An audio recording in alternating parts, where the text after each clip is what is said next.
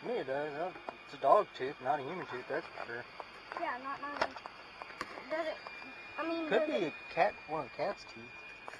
yeah, that's what I was thinking.